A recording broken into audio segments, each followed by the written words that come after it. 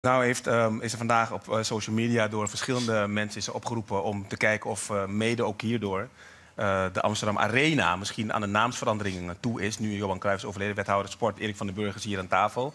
Ehm, eh, Johan Cruijff is het ook gevraagd eh, vlak voor de opening van de Arena. Ja. Laten we eerst eens luisteren wat Cruijff toen zei over het feit dat de Amsterdam Arena niet eh, naar hem vernoemd werd.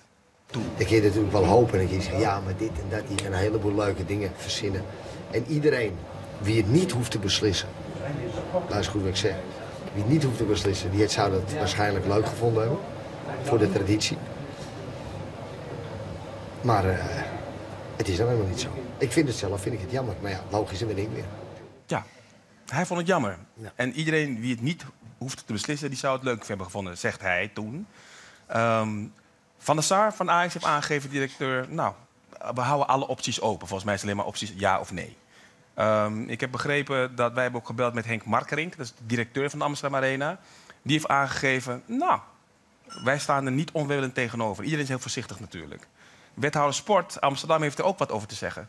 Ehm, wat zegt de wethouder Sport van Amsterdam? Nou, ik heb het er vanavond inderdaad ook even met Henk Markering over gehad, maar ook met de burgemeester. En de burgemeester en ik zijn het in ieder geval eens.